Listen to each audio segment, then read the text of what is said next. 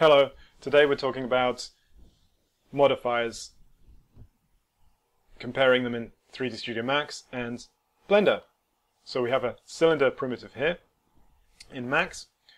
Add a modifier, as most of you, many of you know. Easy, go to modify, choose what you want, bend, like so.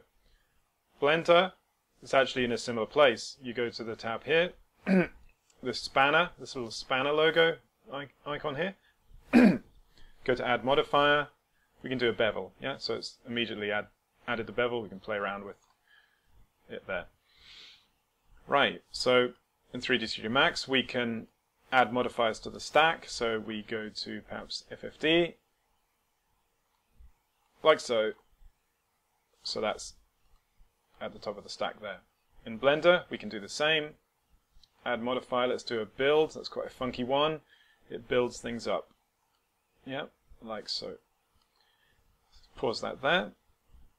So you've got now in this tab the stack. So you've got the bevel and the build below it. And then in this one, in 3D Studio Max, you've got the FFD box above it and the bend below it. Of course, we can change the stack around, gives sometimes messes up the results. In 3D Studio Max, you can pull it up and down. Yep. In Blender, the same thing. All you do is just have this arrow, and again, it changes around the, the, the layout of things. You can add more modifiers in the stack in Blender, just like just keep going, adding what you want. You know, blah blah blah, like so. Yeah, you can delete it by doing that. In 3D Studio Max, it's the same. So you can delete. Well, you can delete it using this icon here.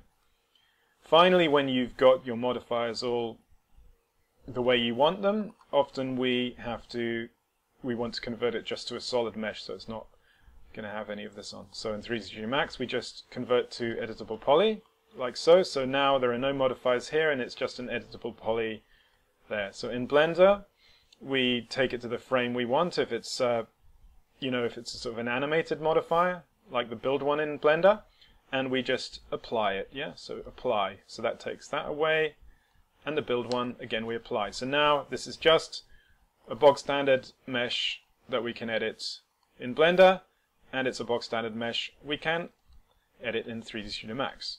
Of course, you know, meshes are great, they're not really bog standards. I don't want to denigrate them too much, or they might misbehave. Anyway, so that's great. So if you want any more tips and tutorials, check out my YouTube channel and also my website for more tutorials and tips and a lot of my own artwork that I use 3D, 3D graphics in, and that's jamesabellart.com.